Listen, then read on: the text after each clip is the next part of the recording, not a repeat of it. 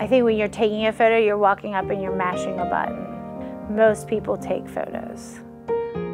When we're doing a residency, we're being very intentional in how we make a photo. I'm a teaching artist because I think art is a great vehicle to help people and grow people. And I'm currently working with fifth and sixth graders. So get in there. Good job. Fifth grade, we're going through a photography residencies. So I want you to just look at where you started. Sixth grade is taking their photography project a bit further and doing mixed media with it. By all means, cut it if you want. but I just wanted to stop you before that scissors hit it.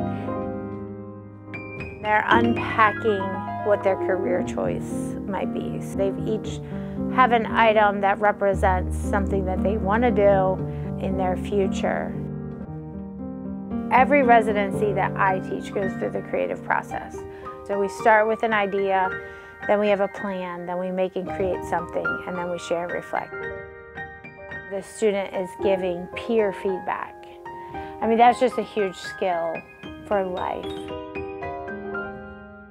It's not about the end product. It, it really truly is about the process. Life is really about problems that you're trying to figure out how to solve. What is yours a picture of? A stethoscope. Stethoscope. And what would you like to be? Cardiologist.